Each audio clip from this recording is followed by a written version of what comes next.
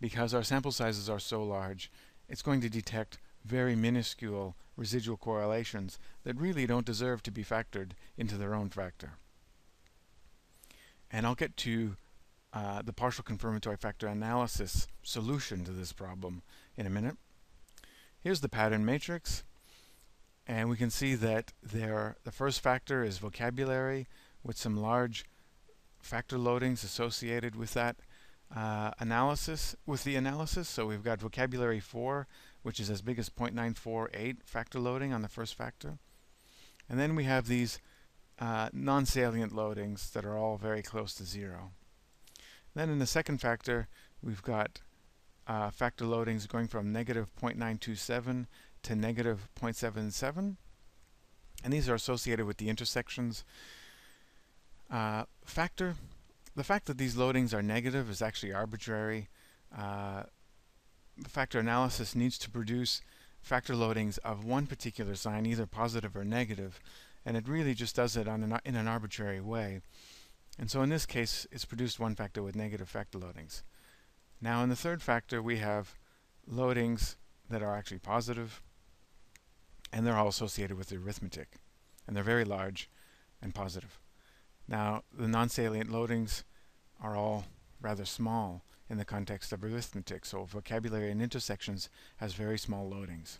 And I'm going to get back to these loadings in a minute in terms of actually performing a partial confirmatory factor analysis. You can ignore the structure matrix.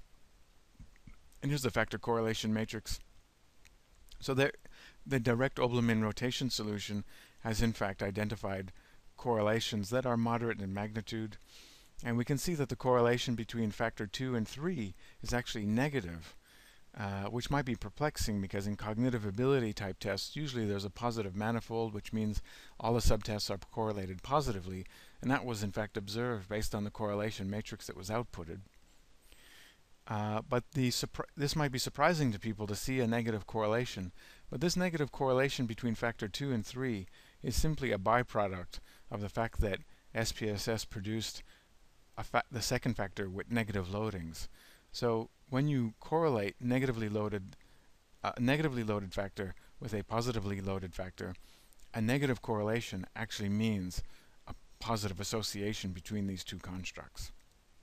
So just to repeat, when you have differentially directed loadings between two factors, then a negative correlation between those two factors means a positive association between the constructs associated with those factors. So in this case here, all the correlations are actually positive. And you can just reflect those uh, in your report if you wanted to report these results. Now, now that I've looked at the factor solution, the first thing that I want to do in a partial confirmatory factor analysis is make use of the KMO Bartlett's test sphericity chi-square value, which is equal to a whopping 7018.828, which is to be expected, and degrees of freedom of 105, and the goodness of fit chi-square value of 213.866.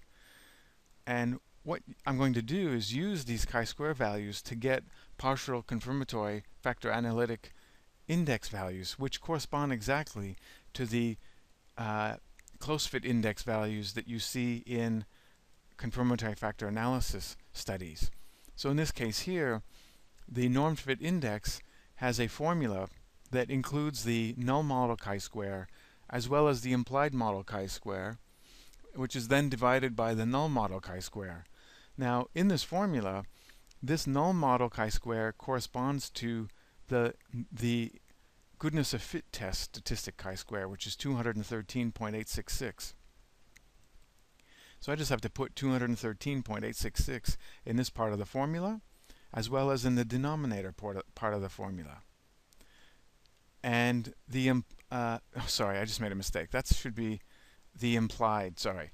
This 213.866 corresponds to the implied model chi-square, not the null model chi-square. So it's this section here. 213.866 corresponds to the implied model chi-square, and it's always smaller than the null model chi-square. The null model chi-square corresponds to Bartlett's test of sphericity up here. Where did it go? Ah, there it is. Bartlett's